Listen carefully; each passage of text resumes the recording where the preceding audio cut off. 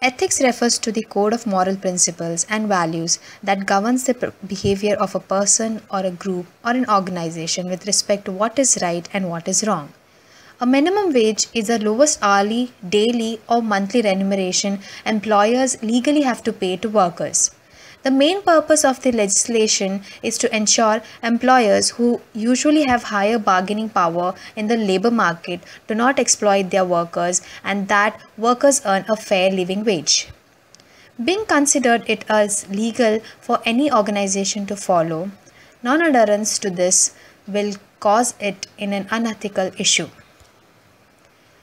Paying low wages to an employee is unethical. If the minimum wage is so low that 40 hours per week is in, insufficient to live at, even at a poverty level, then the burden is on the government to raise the minimum. Yes, it is unethical. Wages are set in the market, which is determined by ethically significant action. For example, if a slavery is legal, then workers have to be competent with a slave labor, which drives down their wages.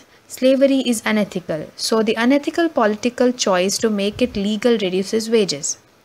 Companies seeking to diversify its operation ought to consider the purpose of internationalization and how this will achieve the said internationalization. The existence of many stakeholders in the business environment makes it important for managers to come up with good ethical judgment.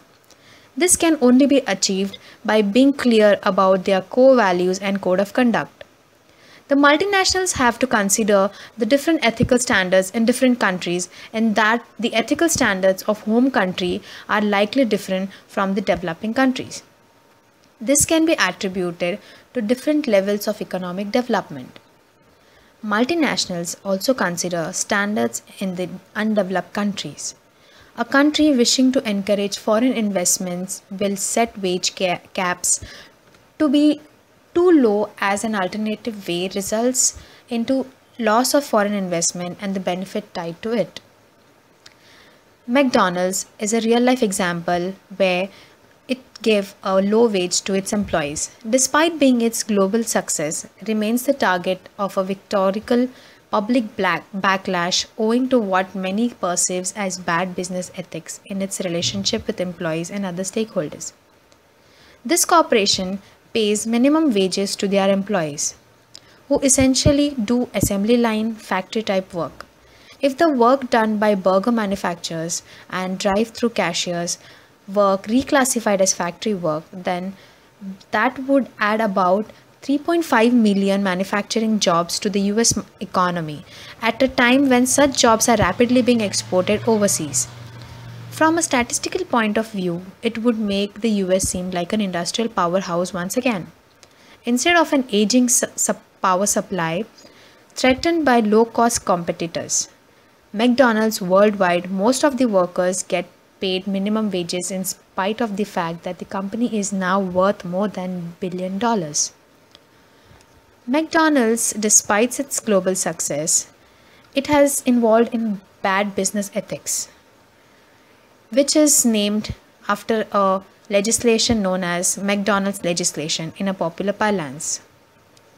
In 1972, Ray Kroc, the company's founder, made a rare donation of 2,50,000 dollar to Nixon's re-election campaign and in return got a favorable legislation that allowed companies such as McDonald's to pay a teenage employees 20% less than the federal minimum wages.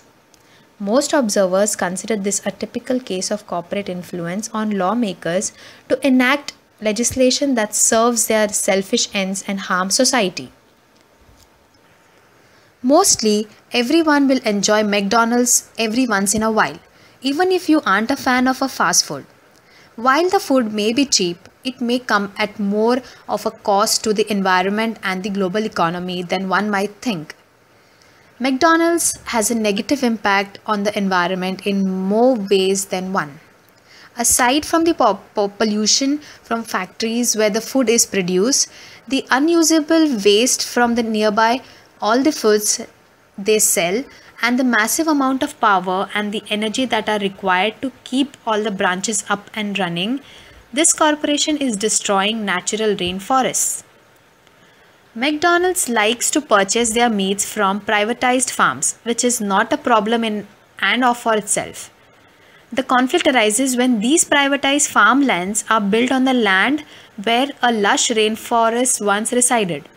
So not only is McDonald's polluting our air, but also it's destroying a large part of what would help to clean it out. The trees that are levered do do more than what just clean the air do. They are also homes to thousands of animals that are likely killed or made homeless as the trees are torn down. This is not exactly a healthy step in making our world a better place. The people at McDonald's treat their empl- employees no better than they treat their environment. McDonald's staffs are frequently underpaid for the amount of time that they work, which is oftenly extends into the illegal amount of labor hours. Gets little to no benefits along with this gross underpayment and are oftentimes forced to work in unhealthy and unsanitary conditions. The farmers from where, which they get their food are also generally underpaid for the amount of produce and meat which they sell to the corporation, particularly considering the cost that many of these farms have regarding the environment and health of the farm workers.